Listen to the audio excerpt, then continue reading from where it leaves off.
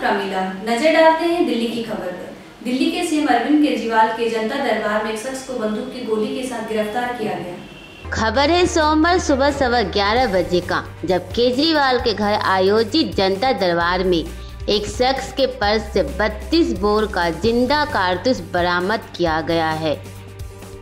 शख्स की पहचान 38 साल के मोहम्मद इमरान गिरफ़्तार किए गए हैं।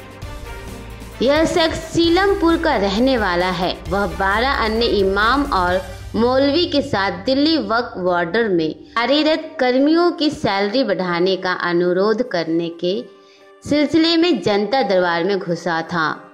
यह शख्स सीलमपुर का रहने वाला है। वह बारह अन्य इमाम और मौलवी के साथ दिल्ली वक्फ बॉर्डर में कार्यरत कर्मियों की सैलरी बढ़ाने का अनुरोध करने के सिलसिले में जनता दरबार में घुसा था। मुख्यमंत्री आवास पर गहन जाँच के दौरान सुरक्षा कर्मियों को इमरान के पर्स से 32 बोर की एक ज़िंदा गोली कारतूस मिली। गिरफ्तारी के बाद उसे दिल्ली पुलिस को सौंप दिया गया। सिविल लाइंस पुलिस थाने में उसके खिलाफ आमर्स एक्ट के तहत एफआईआर दर्ज कराया गया। पुलिस इसकी जाँच कर रही है कि कौन से मकसद से जनता दरबार में कारतूस लेकर गया था।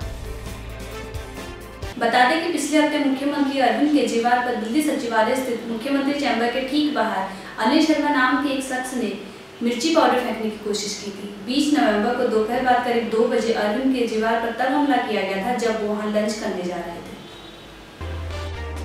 इस बीच सोमवार को दिल्ली विधानसभा के विशेष सत्र के पहले दिन मुख्यमंत्री अरविंद केजरीवाल पर मिर्ची अटैक पर जमकर चर्चा हुई।